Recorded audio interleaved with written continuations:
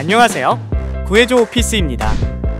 오늘은 인덕원에 위치한 인덕원역 AK밸리 지식산업센터의 호실을 살펴보겠습니다.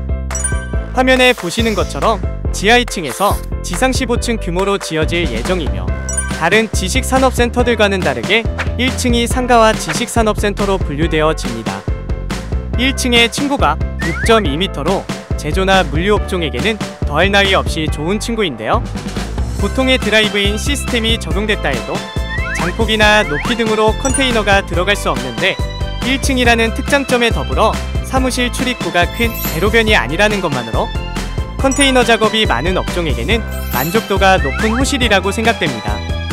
지상 2층과 3층, 4층은 드라이브인 시스템으로 각 층에 두 개 호실이라는 희소성이 있으며 주차장으로 구성되어 있어서 드라이브인 시스템을 선호하는 업종이라면 빠른 선점 하셔야 할 것 같습니다.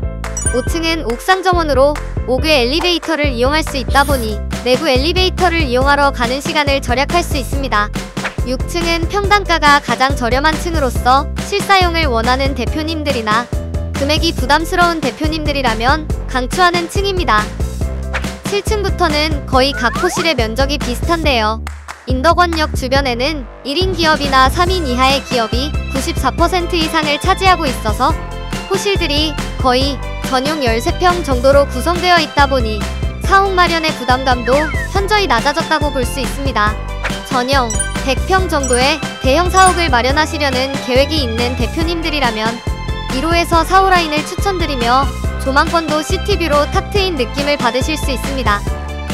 전용 50평 정도를 보시는 대표님들이라면 흥한대로 쪽으로 보이는 21호와 22호를 추천드리며 투자자나 3인 이하의 사업장 대표님들이라면 엘리베이터 앞쪽을 추천드립니다.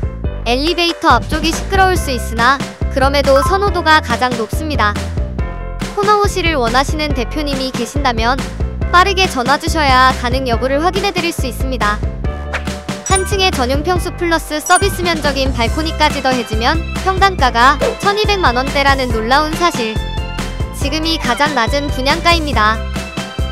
사업 성공의 발판, 우리 회사의 사옥으로 임대료 걱정은 그만! 사업, 자선업 분양부터 임대까지 구해줘 오피스에 지금 상담하세요. 지금 바로 구해줘 오피스로 연락 주시면 사옥 마련과 기보, 신부 대출 모두 상담 가능.